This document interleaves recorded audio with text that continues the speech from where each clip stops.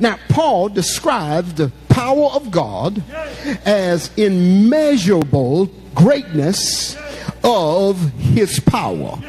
God's power is so great that it can't be described with words.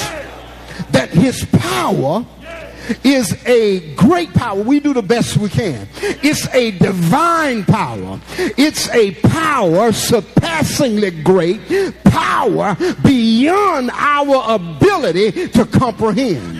When we think of the power of God, we can't think of the power of God in its totality. We can only think of the power of God as, as much as our finite minds allow us to think about the in uh, the, the, the, the the infinitude of his power. His power is beyond our explanation. But he gives it to us.